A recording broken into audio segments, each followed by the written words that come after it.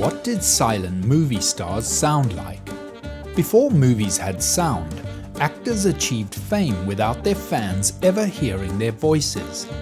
So when the talkies arrived and audiences first heard them speaking, there were a few surprises.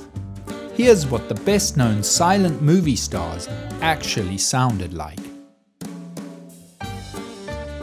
I fell down a flight of stairs when I was around six months old.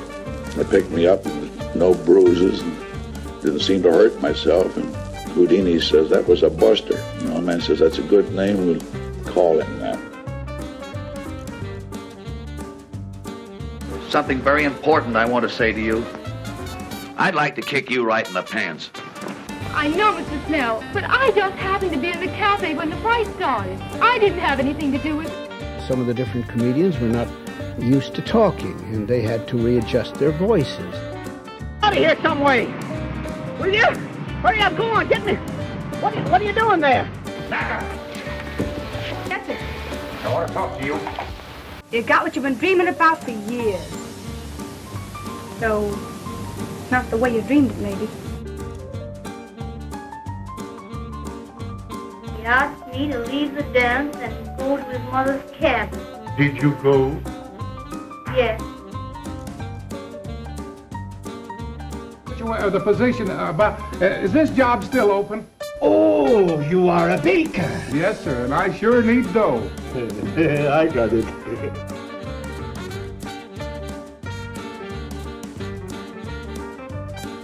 I know, I was so shocked to hear about it. Oh, shh. loud. I was so shocked to hear about it. I've come to nurse you. Look, I'm all prepared.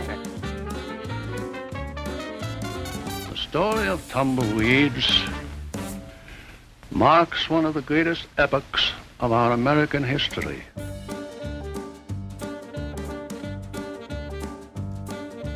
Yes, in Hanwell or whatever asylum it is they put them in.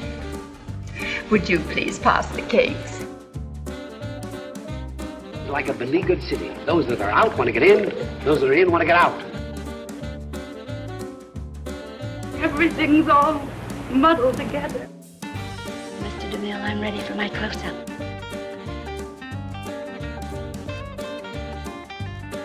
I come in here with the with the purpose of saying something, and I'm going to say it right here. Now listen, Mother, we're going to have no hitchhikers in this car.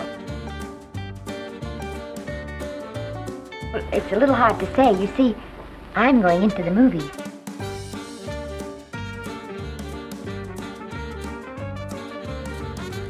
You don't hate, only the unloved hate. The unloved and the unnatural. I'm gonna have another drink. What do you say? I just want to be alone. You're going to be very much alone, my dear madame. This is the end.